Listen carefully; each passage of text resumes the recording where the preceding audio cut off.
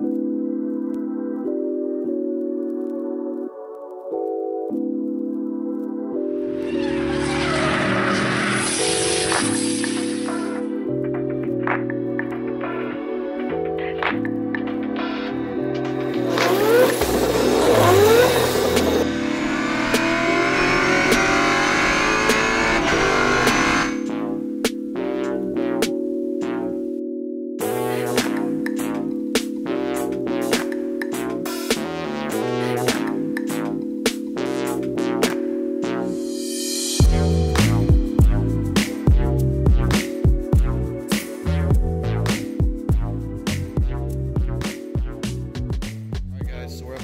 Chase Bays.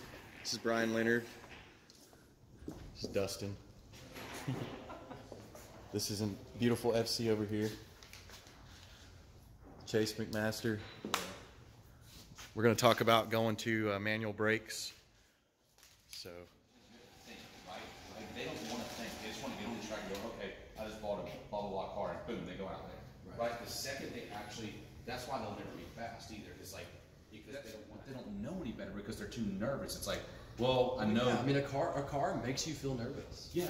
Like I've gotten in cars that have like in a, like in a drift car, for instance, it has too much grip for the power that it has. Gotcha. And that car feels sketchy. Yeah. Like I don't feel comfortable manging. I don't feel comfortable slowing Yeah. down. Like everything about it. But when you get in a car that's set up right, Dude. you're you're no longer easy to drive. like yeah, you're no longer like wimping out into turns and stuff like Correct. that. You're that's that's a great example. Yeah. Just because. Um, because you feel confident. So, so yeah, driver confidence is almost more important than like anything, right? Right. So, So what it gets you confidence. So how do you get driver confidence, right? What the one thing that I find on road racing or, or even track days, the one thing people screw up the most is braking. Yeah. That's the worst thing. People, you can accelerate fine. People, they have good car control skills. They'll come mid corner and exit. They'll get a little sideways and whatnot. But when it comes time to brake, they're either too late and having you know having Well, yeah, they're braking the into the turn. Yeah, they're like, or they're like breaking too early. They're just the braking is not consistent. The guys that I coach, as soon as we get the braking consistent, you can watch their lap times skyrocket immediately, Right. having changed nothing else. But a lot of that is having the right equipment, like you said. So manual brakes on all of our high horsepower cars.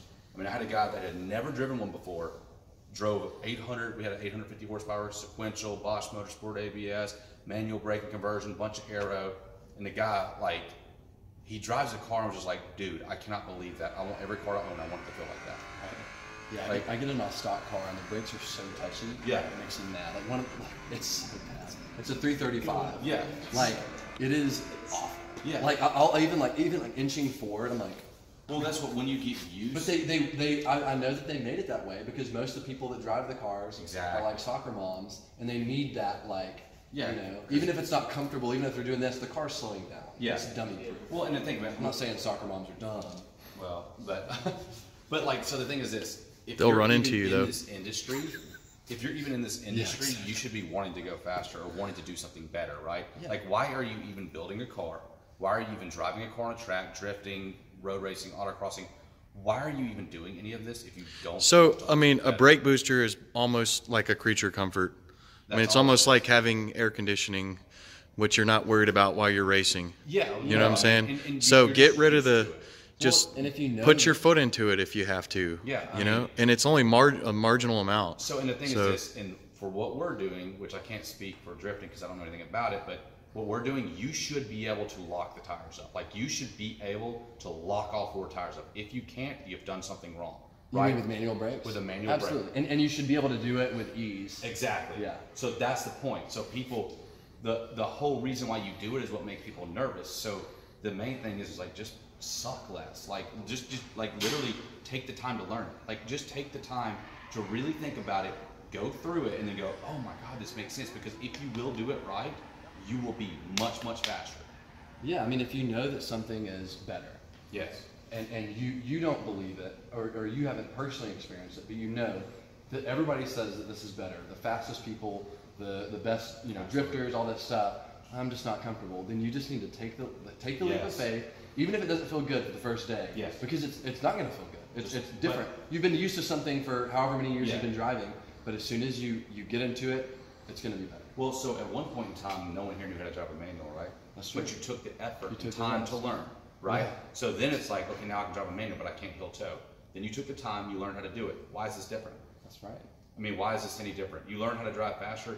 You learn how to modify parts. This is no different. It's It's just it's just a little bit more effort. Put the effort into it, and it will pay huge dividends. And, and and then find the right people to help you set it Yes. up. Don't don't do trial and error on, on your own because People have done that already. done it. Yeah, Like- pulling your call pulling us, your call him. Yeah. pulling your vacuum line is not a manual brake system, right? No, it's Oh, like absolutely not. That's going to be all ten the time. times worse. That's probably where that the all the rumor time. It drives me starts, right? Yeah. That's where that's where the rumor is starting. I think so, and I think I think that um, a lot of drag race people switch to manual brakes just to simplify, or to only have front brakes since they have, Yeah. you know, like we'll just say front wheel drive Honda Yeah. guys, and they're like, well, I want I want the car to stop, so I'm going to put you know inch and a half uh, Mm-hmm. bore master cylinder. Absolute nightmare. Like you can't stop that car. It feels like against a brick wall. And then you have people who have experiment who have experimented with different setups and track tested and done you know pressure testing like us. That's what we do, and I know that he's done it too. And that's that's where you know, at least our little niche of the industry that's outside of racing, that's when it was like, okay, this is good. And everybody who buys our product and sets it up right loves it. Um, there's just always, there's, we got to educate those people who still think that it's bad. That's literally all it is, though, is educating people on what it is. Because it's if you, you always look to the standard, like if you just look, okay, what are these people doing? What is the best of the best doing in whatever whatever industry you are? You're always looking at Apple, these people, that people. That's how to do it, right? Well, so Does Formula One use manual brakes? Uh, yeah. So they're a Well, there little- you go, right? Well, they're they're they do, but they're a little bit different. They're Yeah, they. um, I know that they've tested like off and on like power brakes, and they've, test, they've tested they've all kinds of variations. everything under But the, the sun. car- Well, you said most of the IMSA cars are, if not all of them, Oh, right? absolutely. You cannot. If you look at the DPI cars in the prototype category, every one of them manual brakes. Um, they run, you know, dual master cylinders with a balance bar, whatever. You've got um, all GT3 cars. Just Google, literally, just go to Google Images and Google 911 GT3 uh, RSR race car um, interior. The second you look at the pedals, what are you going to see? Manual brakes. And F1 doesn't. They, they do or they do use manual. Yes. There's just different factors involved because there's aero and Yes. a lot of stuff. But I mean, that should be that should yeah, like you said, that should be Yeah. evidence that this is you know they're using a different kind of setup to cap. It's Yeah. literally the fastest race cars in the world. Yeah. So if you look at a GT based car, right? So because you you know, in theory, you could go to the showroom floor and buy a brand new Porsche, buy this, buy that, right? And you look at like the GT3 cars or GT4 cars. You got Pratt Miller Z28Rs. You've got uh, or yeah Z28 GT4Rs, the Cayman GT4s, um, Mustangs, all those guys in the GT4 category, the BMWs, like they're running a manual brake, and they took a stock vehicle and built a GT4 race car. The factories do, and the, one of the things that they do with the braking systems is run a manual brake. Why? If it sucked, why would they do it? Yeah, and and and people are in those cars so much in like blistering heat, hour 24 hours. If it was like pushing your foot against a brick wall, or if it was like you had to do leg day, dude, you're. I mean, You couldn't do it. You would fatigue the driver. You'd you- nut- yeah, your foot just- would just shake and you wouldn't be able to drive. Absolutely. So it's, it's just, and I've personally driven these cars, and I would tell you right now, if you were to say, give me a Corvette, give me a bone stock C7 Z06 with and without a manual braking conversion, I'm going with the manual braking conversion and having changed nothing else. Like Yeah. in my perfect world, the perfect HPDE car would be like, because I like you know horsepower like Corvettes, I think would be like any any car with decent pads, you know, uh, good brake fluid, like buy some nice stuff, and like Castrol SRF or something like that, um, and a manual braking conversion, dude, you're fast. Like that's that money spent there and on coaching uh, is like best money you can spend. Because I mean, you could spend all this stupid money elsewhere trying to do all this other stuff, and that's what they do. They neglect that. Yeah. And then once they go to that, they're like, I want it on. I mean, I have a client. I want it on every car I own. I was like, well, you can't do it with Miata. You have to run, you know, the factory stuff. to keep the car stuff. Yeah. Well, yeah, I know. Tell me about it, because spec. When I every time I drive one, I'm like, oh my gosh, if we had a manual brake, this car is two seconds faster. Probably because I know. Oh, of course. But it's and it's supposed So to keep costs down. again, you know, it's kind of funny how these rumors get started. I mean, you go and post on the forum about what you're doing to the car and suggesting moving to a manual brake because it was recommended by a pro driver. Yeah. And then you've got, you know, people that are bench racing behind the computer going, dude, you're gonna crash the car and you're gonna wreck it. You need to rethink it.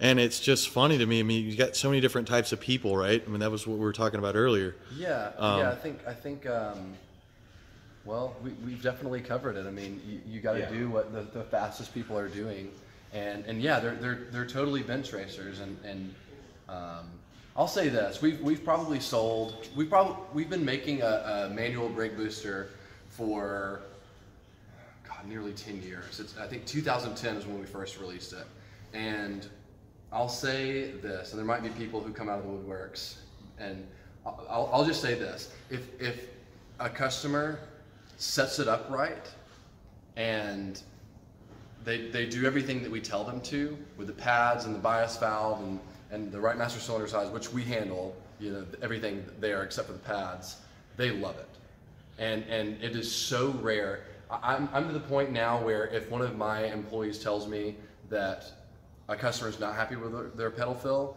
I'm like something's wrong. So try it before you knock it. That's right. But do it right. Yeah, Like, and- and- do it right. and and you And know you come to shouldn't- these guys because they know how to set it up i mean one of the things that you asked me was what diameter pistons pistons are you running you know what what is the setup on your new front brakes and you know what are you guys trying to do what kind of pads are you going to run i mean there's a lot of questions being asked because you're going in and you're making the calculation to decide the right size master cylinder that's going to deliver just enough fluid to give you the pressure that you're looking for without being too stiff and requiring leg day Yeah. I mean, so there's a lot more that goes into it than most people think about, or and and they don't even realize that the due diligence is there. So yeah, I mean, we, we've done all the hard Yeah. work. This is it's all news. That's the thing, is it drives really me, is all It drives news. me crazy because like yeah, there's categories. There's people who are bench racers, and there's nothing wrong with that. I mean, like they're just going off of what they heard. well, you got to have them And in the world. you gotta have It makes it interesting. And then you've got you've got the people who are like they're like simple. They're like just throw this on it or this on it, and you're good. You'll, you'll go you'll go fast. And then you know they learn a little bit, but that doesn't mean that they're that they're like knowledgeable, that they're engineers or designers. Um, and then you've got basically anybody past that is people who have who have invested into the setup and they've tried different things or they've listened to other people, and everything from there is like the myths just fall off. And, and manual braking is not even we live we're in an industry where there's way too much misinformation but just since we're focusing on this one everybody past that point is like i'm good with manual brakes Yeah. because you know they're they're setup people you know they're they, they've gotten past the point where they listening to they're where they're like listening to rumors or listening to the people that are going fast or listening to people that are putting out the most smoke and drifting or whatever and and that's it. I mean, and then, then they don't- Sure. I mean, they don't, it's not even a conversation in, in like deep road racing. No, you're not like, do you run manual brakes? It's like, It's like it's, it's like, of not course, right? Well, no, it's, that's not even a conversation. It's, it's like such the, the, the guy changing the tire at an IMSA event knows that, right? Like the, the guy's literally slinging the tire, and the kid that's sweeping the floor and cleaning up the shop at night and the IMSA. I mean, they know that. It's not even. It's not a question. You it's know a what I weird mean? divide. Okay. It really is. Well, I hope. I hope Well, this video interesting is- perspective. So now we're, you know, this is the real perspective. This is coming from racing and engineering, the the experts, not the the form gurus. So We're actually going to send. it. that's we're at- yeah, and you're going to. yeah, we're gonna send this thing. So let's check out the product then, huh? Okay. So I'm going to show you guys what we're giving to David uh, today. So this is um, there's two brake booster eliminators here. Um, one is a dual piston, dual reservoir. This is actually unreleased, but we're letting David test it out. Um, and then this is a single piston, single reservoir. Uh, the the pedal feel is identical between these two if the bore size is the same. The major difference is that if you lose a brake line in the front, you have a whole reservoir that will stop the rear, and you know vice versa. Um, we've I've always run singles, and we always have really good secured brake lines, and we trust them. And you know, tens of thousands of people run this, and it's good. But there, I understand the the separation between these two. Just know that soon we'll have an option for both. Of course, it'll be double the price. Um, and just a side note, a lot of the OE master cylinders aren't chambered inside the reservoir. So if you lose a brake line, you're losing both of them because it doesn't separate the two. So there's actually no difference between a lot of stock master cylinders and this. Um, just something noteworthy. This is our bias valve, uh, and then the hard line. This actually bolts to the bottom of this, and the hard line goes from here to here, um, and then it separates. It separates uh, front right, front left, and then this is the out, obviously.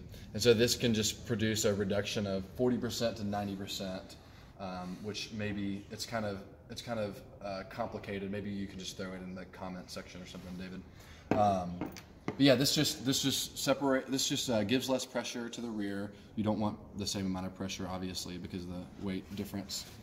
Um, but this is very important for manual brakes. Uh, a lot of people want to use a stock proportioning valve. It is not smart. Don't do it. That is made for a booster setup. Just use this. And you can get all this stuff on the site, except for the uh, dual, which should be out in about a month, depending on when you're watching this video. Here's the retaining bolts, and then here's the three brake lines. This is driver, passenger, and then rear. And this replaces all of the lines in the engine bay. The front ones go up to the caliper lines, which are the ones that connect to the caliper and then go to the bracket and your fender well. And then the rear line uh, on these kits goes up to where the rear hard line enters the firewall. So there'll be a there'll be a separation point. Every car has it. Um, it goes up to that splitting point.